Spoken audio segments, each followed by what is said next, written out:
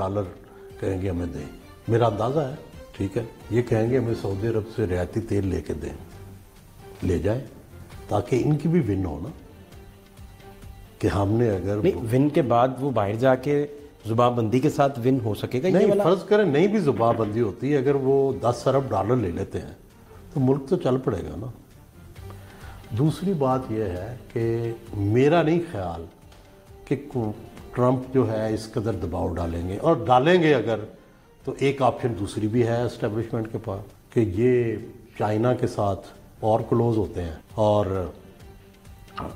Resistance دیتے ہیں امریکہ کو۔ کوئی امریکہ نے حملہ تو نہیں کر دینا نا اس بات پہ۔ اور پاکستان میں بلے بلے کرا لیتے ہیں کہ ہم تو اینٹی امریکن ہیں اور ہم پر امریکن پریشر آ رہا ہے۔ تو یہ بھی ایک ان کے پاس آپشن ہے۔ دو آپشنز موجود ہیں۔ ایک سرنڈر کرتے ہیں تو کس قیمت پر؟ اور اگر سرنڈر نہیں کرتے، کھڑے ہو جاتے ہیں، تو اس کے کیا ڈیویڈنڈز ہیں؟ میرے حساب سے جو کے لیے ملٹری کی ایکسیپٹنس ہو جائے گی، جو اس وقت دوری ہے، جب پی ٹی آئی ان کے ساتھ بیٹھ جائے گی جو ہے، نون کو تھوڑا نقصان ہوگا، کیونکہ ان کی، لیکن پنجاب میں وہ موجود ہوں گے تو وہ اس کو کمپنسیٹ کر سکتے ہیں۔ سندھ میں پیپلز پارٹی موجود ہوگی، وہ اس کو کمپنسیٹ کر سکتے ہیں۔ نیشنل اسمبلی میں سے ایک نیشنل گورنمنٹ بن سکتی ہے۔ جو کہ دو سال، ڈھائی سال، تین سال، اس پہ ابھی اختلاف ہو سکتا ہے۔ کچھ کہتے ہیں ایک سال، کچھ کہتے ہیں دو سال، کچھ ڈھائی سال، ٹھیک ہے۔ تو ایک پہنچا جا سکتا ہے، پھر ہے نا، جتنے بھی خواب ہوتے ہیں، ان کے پیچھے حقائق ہوتے ہیں۔ آپ کو پتا ہے، کوئی خواب دنیا میں آپ وہ نہیں دیکھ سکتے جو آپ نے اپنی ننگی آنکھ سے چیزیں دیکھنا رکھی ہوں۔ مثلا، آپ دیکھتے ہیں جن، فرض کریں خواب میں۔ تو آپ نے آنکھیں دیکھی ہوتی ہیں، آپ خواب میں اس کو بڑھا دیتے ہیں۔ آپ نے سینگ دیکھے ہوتے ہیں، آپ لمبا کر دیتے ہیں۔ دونوں چیزوں کو مکس تو کر سکتے ہیں تینوں کو۔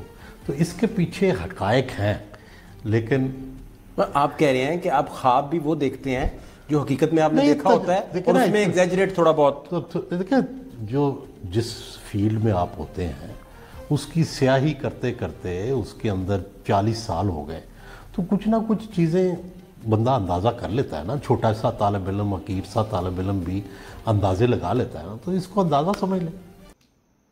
ناظرین، بہت شکریہ آپ لوگوں کا۔ آپ نے سہیل وڈائچ صاحب کو سنا، بڑے ہی سینئر تجزیہ کار ہیں۔ دھیمے، دھیما سا انداز گفتگو ہے اور دھیمے دھیمے انداز میں بہت کچھ اپنی تجربات کی بیس پر باتیں وہ کر جاتے ہیں اور اب دیکھا جائے تو سچویشن بڑی اب کروشل سی دکھائی دے رہی۔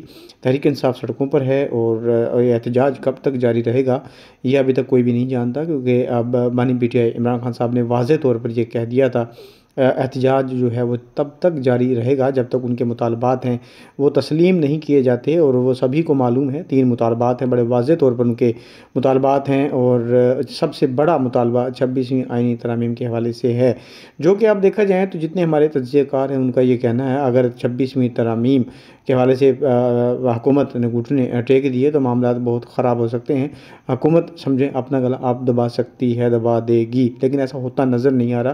کیونکہ چھبیسویں آئینی ترامیم کے لیے بہت بھرپور کوششیں کی گئیں اور بڑی محنت کی گئی، جس کی وجہ سے یہ ترامیم پاس کی گئیں۔ حکومت ایسا کوئی بھی عمل کرتی ہوئی دکھائی نہیں دیتی، جس سے ان کو دھچکا لگے یا ان کو لاس ہو، تو یہ تو پاسیبلٹی نظر نہیں آتی۔ ہاں سیاسی قیدیوں کے حوالے سے ضرور پیش رفت ہو سکتی ہے، یہی ہماری تجزیہ کاروں کا کہنا ہے کہ اس کے اوپر تھوڑی سی لچک دکھائی جا سکتی ہے ادروائز وہ کچھ بھی مطالبات تسلیم نہیں کی جا سکتا اپنا رکھیں خیال، ہمارے اس چینل کا بھی۔ اللہ حافظ۔